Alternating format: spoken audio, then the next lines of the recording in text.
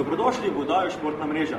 Po najnovejših informacijah imamo težave v naši futbol reprezentanci. E, kot smo izvedeli, bo danes aretiran Roger Želj.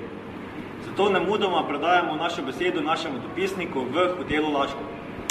Lepo pozdravljeni, spoštovani gledalci in gledalke. V živo se javljamo iz terena v Wellness parku v Laškem, kjer bomo priča aretaciji slovenskega futsal reprezentanta in virtuoza v malem nogometu Roka Grželja.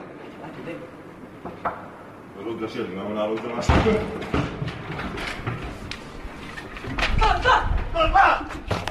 Zveži ga, zveži ga!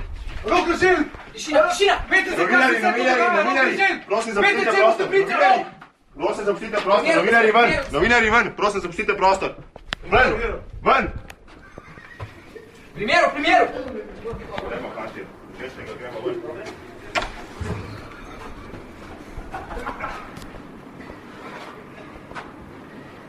Sedaj čakamo, da pride Rok Grželj iz sobe, da vidimo to, kako ga bodo policisti odpeljali.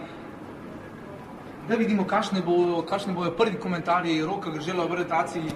Morda se sploh ne zaveda, kaj je storil, zakaj se je storila ta aretacija. Sedaj ga bomo poprašali o njegovih eh, prvih vtisih.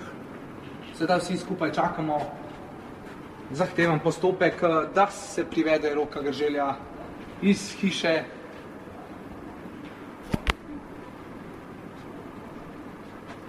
Smo v sobi 430, eh, to nas je vse skupaj presenetilo, vendar uh, imamo izurjene policiste in kriminaliste in mislimo, da bodo priča nalogi.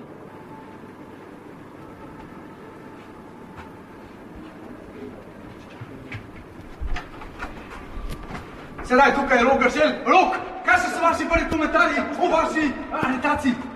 Novinari, stran. Rok Grželj, kako bo sedaj slovenske futsal reprezentanci in gospod Dubovičnik pred vas? Ne gržo, gržo! Rej sedaj, Rok, prdej, kako bo Pelmo ga, pelmo ga, pelmo ga! Ne, ne gržo, ne gre oska brez njega, nekdo bo vodil špance. Rok Grželja so odpeljali, poglejmo, uh, mislim, da je to vse za nas presenečenje. Kako se bo sedaj gospod Dubovičnik znašel brez njega? Rok, kako bomo sedaj proti Špancem? Ja, ne vem, oska ziger ne bo funkcionirala, zdaj pa ne, ne moramo brez njega, španci, španci nas bo razbili. Kdo bo sedaj motal in vrtel Špance? Ja, brez njega smo izgubljeni in ne vem, kako bo zdaj to potekalo. Tako, to bi bilo za danes uh, vse in v živo iz terena, iz hotela Wellness Park v Laškem in uh, ostanite z nami in nadaljne bomo spremljali, kaj se bo dogajalo z Rokom Grželjem.